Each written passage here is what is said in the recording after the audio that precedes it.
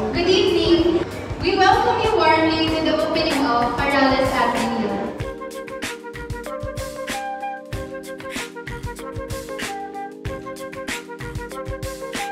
Welcome to the first show of the Center for Campus Art.